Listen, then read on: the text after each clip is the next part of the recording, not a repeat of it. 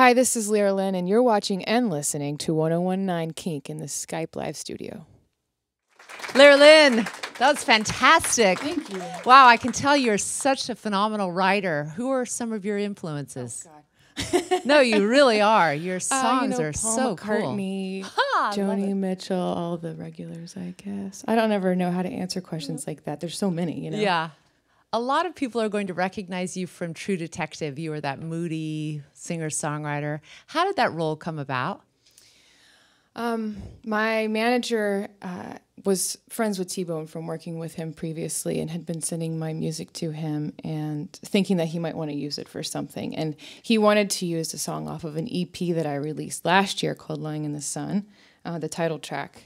So we met for lunch, and uh, you know he was curious about other things that I was doing, and said, "Do you want to try writing for the show that I'm working on? It's called True Detective." And I was like, "Uh, yeah."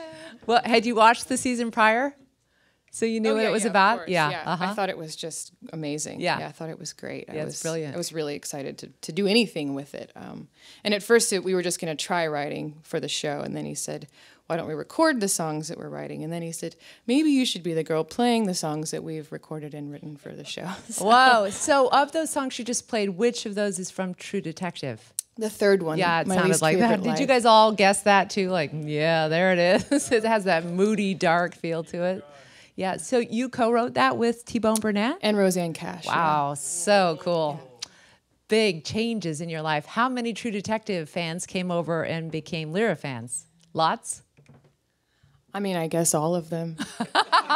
That's the right ask me, I answer. I'm just kidding. That's the right I don't answer. know what I know. if you guys don't know, she has a really interesting past in that she studied anthropology at school, and we were just talking backstage, like, how does that weave your way into your songwriting? And I thought your answer was very good, just in terms of the totality of information and knowledge, how it helps songwriters. Yeah, well, it just it helps to open your mind to you know all different types of people, not only culturally but psychologically, socially, and I think that's really crucial for writing songs, being able to see things through other people's eyes. You know. So if you guys ever hear a song about the specifics of the human jaw, no.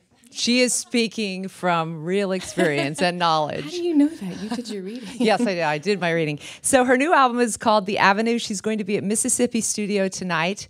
And for those of you that are DIY, you know, you love to do everything on your own and shop in the Avenues area, I mean, uh, over in the North Portland area, this is the time to go see her. Go do your shopping on Alberta.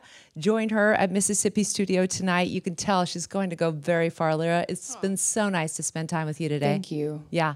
Lera Lynn, Thanks everyone. for being Thanks. here, everybody.